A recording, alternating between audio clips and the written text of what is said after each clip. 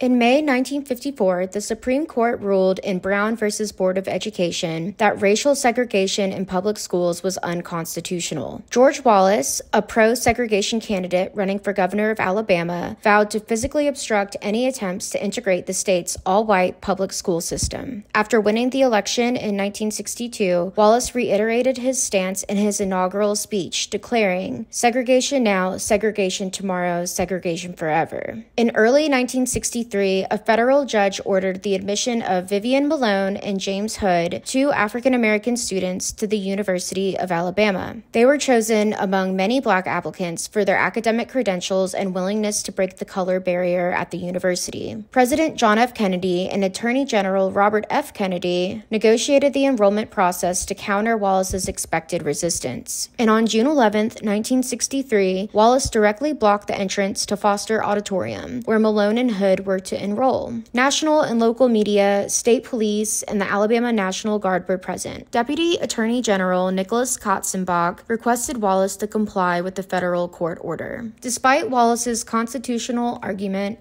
President Kennedy promptly federalized the Alabama National Guard to remove him if necessary. After a tense standoff, Wallace relented, allowing Malone and Hood to register for classes. Malone graduated in 1965, becoming the first black person to receive a degree from the University of Alabama. Hood left the university after about eight weeks, but he later returned to earn his PhD. This event, known as the Stand in the Schoolhouse Door, became a significant moment in the civil rights movement. On the night of June 11th, President Kennedy emphasized civil rights in a televised address. That same month, he proposed civil rights legislation, which led to the Civil Rights Act of 1964, prohibiting discrimination and authorizing lawsuits for school desegregation. With federal enforcement of Brown versus Board of Education, school segregation gradually ended. Malone and Hood wanted this event not to be known for the stand in the schoolhouse door, but for the opening of the schoolhouse door. They wanted the day to be remembered in celebration of its symbolic progress in racial equality. Their courage and determination allowed others to pursue better opportunities. And despite the challenges they faced, their legacy reminds us of the ongoing struggle for a more inclusive society.